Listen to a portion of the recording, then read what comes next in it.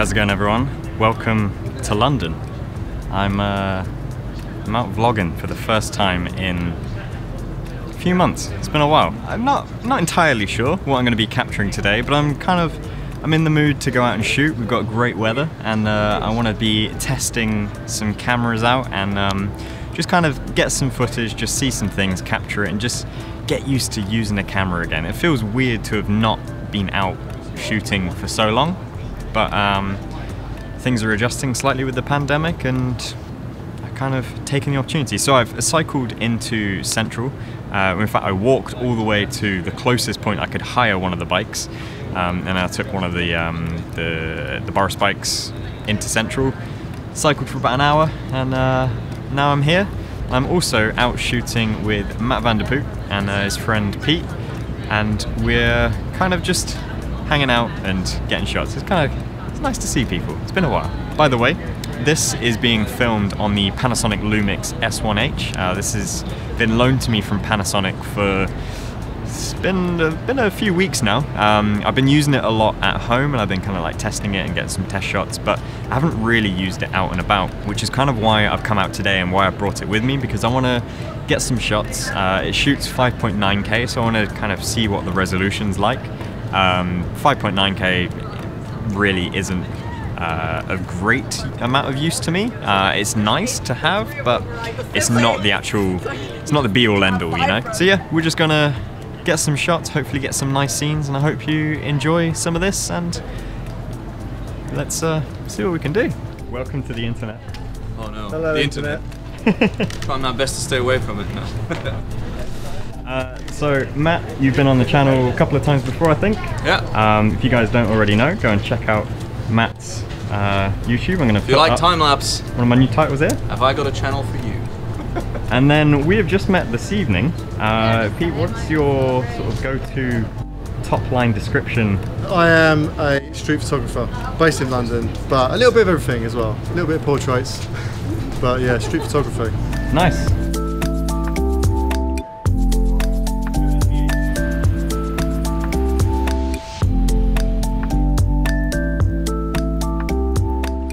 I'm gonna give a go vlogging on this S1H. So obviously I'm normally uh, vlogging with the GH5, which granted is a big camera already, but this is just a GH5 on steroids. It's pretty big. Yep. Have you uh, you're attempting vlogging with your S1 today, right? I uh, I haven't vlogged on this camera. I've had it for almost 10 months now, and it's kind of fell out of love with vlogging. It's uh, it's definitely a challenge. I used to vlog on a 1DX2 though, so weight and size wise, this is a piece of cake. Yeah, you used to rip that Yeah. massive. Um, yeah, I feel like if I'm going to vlog on here, it's probably going to do wonders for increasing the pacing of my speaking and saying less, because man, this is pretty heavy. Um, yeah, so I mean, I'm interested to know what it's like. Uh, I'm gonna have to switch arms. My God. Um, I mean, I've been trying for a different style of vlogging for a, a while anyway, and you may have noticed on the channel that I do a lot of placing the camera down and then talking to it, and I think it it adds like a bit more sort of depth to what you're saying. Um, it gives me a chance to actually think and say something better than just you know waffling like I am now. But today is one of those days of just testing things out and seeing how it goes.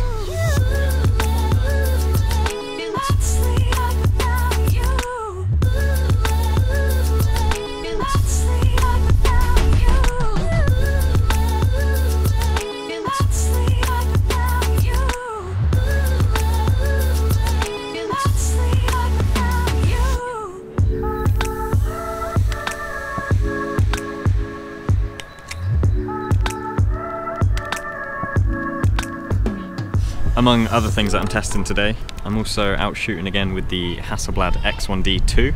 Uh, so I've only really shot with this once in Morocco. Um, I gave it a good go on testing with some street stuff and found that it wasn't really fast enough to do any sort of fast moving things. Um, I had hopes that maybe there was a chance it could be, but it just really wasn't. However, in landscape scenarios and slower paced, it worked beautifully, uh, and I love the images that came out of this. But again, I haven't had too much experience with this, um, and it's been on loan to me, and Hasselblad have kindly let me hold on to it a little bit longer just because I haven't been able to shoot with it during the pandemic.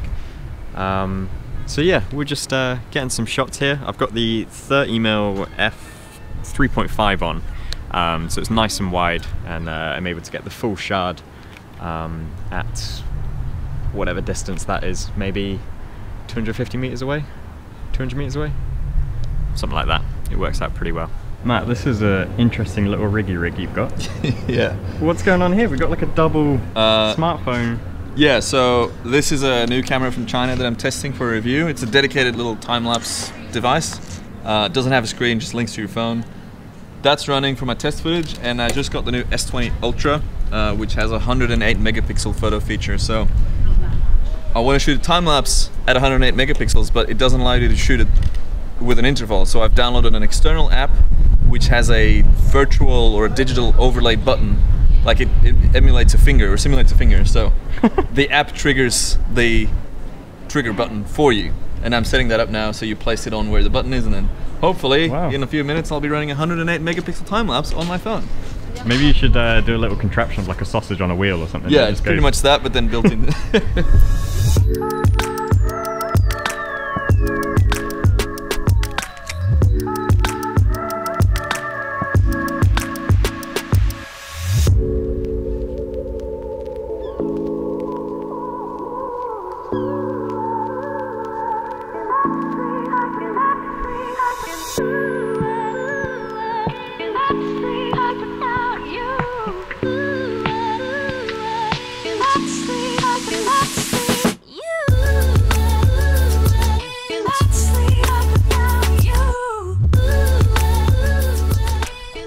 So we're just walking along the Thames path, uh, or the Thames walk rather, heading back west towards like Waterloo Bridge and, and that sort of direction. That's not optical though, right? No, it has. surely. This is so in photo mode. It's got the 10x, what, a that's- 10 times lens. Yeah. 10 times lens, yeah, Right. which is pretty nice. What's the resolution though? Is it on a smaller 12. sensor? Wait, wait, go all the way out again.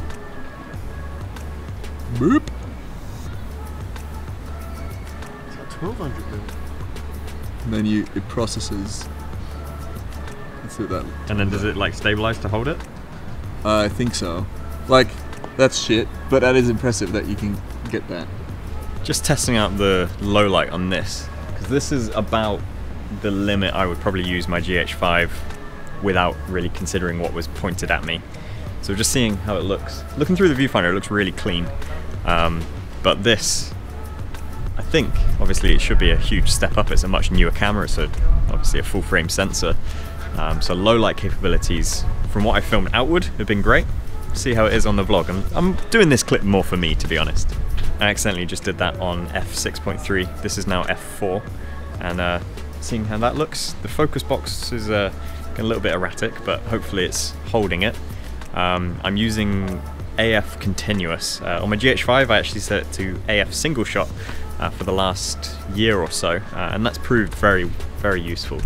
Uh, but we're giving this a go, and um, I'm also enjoying the tally light on the top. That's uh, very useful.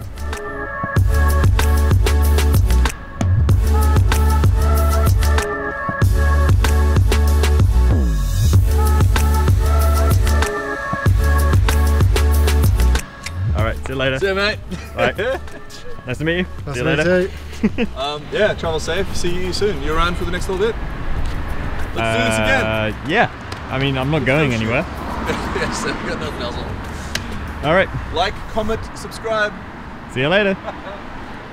Alrighty, I'm heading home now. So, this is uh, as a video has probably been the most non-event type of vlog on the channel. Um, to be honest, there's not really been any structure to it. This is a video that I've made for me as a way to test out a camera, but also just to kind of get back into the swing of talking to a camera and just, you know, getting back into the flow of things as best I can in the situation we have available to us.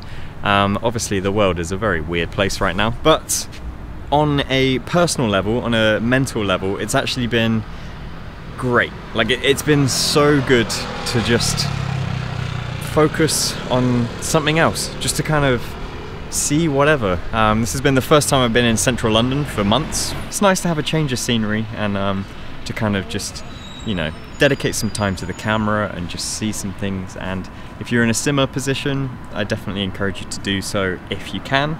I'm not necessarily going to go into a review of this camera, uh, the S1H. Um, in this video, this was just a time for me to, to shoot with it so that if I do make a review, I can have those experiences to share with the footage I got today. I am currently in the process of writing a blog post uh, talking about all of the camera brands that I've bought and used in the past because uh, I do maintain that I am agnostic to camera brands. I'll shoot with whatever product is best for me.